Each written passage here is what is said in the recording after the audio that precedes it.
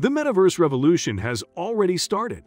It won't be wrong to term it the future of online money making. Within the metaverse, people have tons of options to generate income from their comfort zones. It is unbelievable. Today, we will talk about 10 of the weirdest ways people are making money in the metaverse. For those who are not aware of the new sensation called metaverse, here's some quick information. The metaverse is a 3D virtual world built upon the mechanisms of augmented reality. It will be a game changer in how we do things in the real world people will be able to travel to different parts of the virtual world using a pair of AR glasses and a bunch of motion tracking gadgets.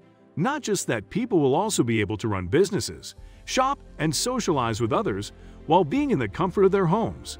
In the coming years, the metaverse may alter the way you make income, buy, or perhaps even hang out with friends. Cryptocurrency is transforming the way people generate wealth all over the world. So here's a list of 10 weirdest ways in which people can make money in the metaverse. 10. A metaverse architect or construction worker. Metaverses are full of land that people can own. Individuals and companies that own this land usually want to build things on their land, whether just for pride or for monetization. These structures could be anything from houses, stores, malls, galleries, museums, casinos, venues, company branches, theme parks, or whatever else. Just like individuals and businesses hire freelancers to design websites on the traditional internet people often hire freelancers, architects, or construction workers. To create buildings in the metaverse, for example, Decentralandarchitects.com is a 3D design architecture studio. For the blockchain virtual world, property owners in the metaverse do not have the skills necessary to 3D design and develop on metaverse. That's where the architect come in. Their main purpose is to help entrepreneurs and companies that lack the in-house skills and are looking to subcontract. A metaverse architect can earn from a few hundred dollars up to millions per project. Each project is unique and of different scale. That's why earning is also different from project to project. For a construction of a small house in Metaverse, you will get a few hundred dollars while your earning will multiply if you are working on a bigger project. Furthermore, all payment in Metaverse are in form of NFTs and Metaverse respective cryptocurrencies. 9. Creating and selling NFT, artworks and designs. NFTs, non-fungible tokens, make up much of the content inside metaverses. In a metaverse, NFTs can be anything from avatars, clothes accessories for avatars, items weapons for games, pets, vehicles, decorations, furniture, art, music, videos, entire buildings, or even plots of land. One possibility for making money is to buy an NFT and sit on it for a period of time before selling it, hopefully for a profit. As well, people can sometimes earn NFTs by playing games or completing tasks in Metaverse. Another method is to invest your time in developing and creating your own NFTs for a Metaverse and then sell them on that Metaverse's marketplace. If you want to sell someone else's art in exchange for a share of the money, you can also set up an NFT art gallery and make money by selling someone else's work. You can also become an art broker and help Metaverse customers navigate this new NFT environment. 8. Real estate Virtual real estate has seen a massive boom lately with the rush for digital land seeing plots in metaverses like Decentraland, Axie Infinity, and the Sandbox selling for millions people are using NFTs in the metaverse to buy virtual land, such as land a digital piece of real estate in the sandbox. These virtual spaces use NFTs as opposed to physical deeds to reflect ownership of specific locations within a virtual world. In the sandbox, land comprises about 300 square feet in the game world. In Decentraland, the size changes to 50 square foot land parcels. If users hold enough plots of land, they can combine them to create a single estate. One example of that is The Secrets of Satoshi's Tea Garden, an estate on Decentraland made up of 64 separate plots of land. It sold for 1.3 million mana in 2019, about $80,000, because of its size and location. In 2021, the Metaverse Group bought an estate in Decentraland for 618,000 mana, which was equivalent to about $3.2 million at the time. Just as in the real-world location is everything in digital real estate and plots that are close to entry points or to places such as virtual arenas that promise virtual foot traffic tend to increase in value. 7. Investing in a specific metaverse's cryptocurrency. If you believe that a country is about to go through an economic boom and a period of rapid development, then you may want to buy some of that country's currency. It's the same principle in the metaverse, except with exponentially increased volatility.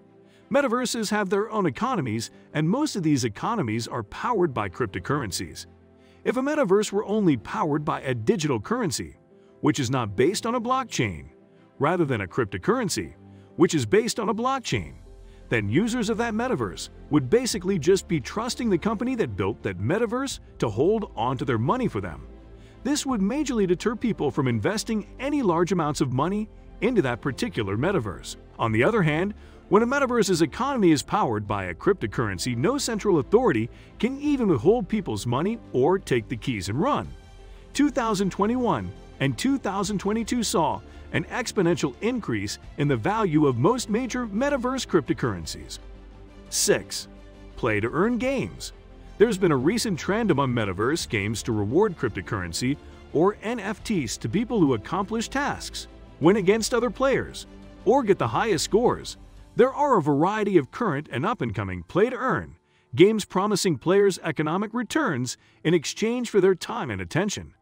However, the reality is that rather than offering money for time, you'll find that most of these games are actually only offering money for money. When you cut through the complexities of their systems and economies, almost all play-to-earn games require an initial purchase, usually of an NFT in order to begin earning as well as future purchases in order to earn more. Therefore, it's more accurate to look at play to earn games as investments rather than as free money. 5. Bitcoin interaction in the metaverse. Cryptocurrencies, in general and Bitcoin in particular, are the metaverse's money and each metaverse has its own set of tokens you can purchase. They're used for paying for everything including NFTs, virtual real estate, avatar shoes, and more. For example, Decentraland's native token Mana is in everything on Decentraland can be purchased or sold in Mana. Sand the Sandbox's native token is used in another popular metaverse. We can say that Bitcoin can serve as a link between the physical and virtual worlds.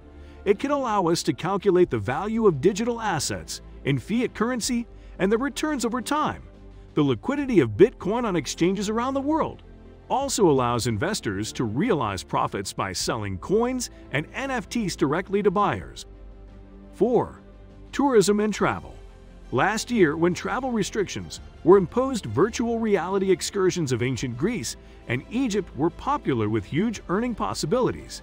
The development team of the metaverse is trying to captivate visitors by reenacting historical events, for example, the American Civil War and much more.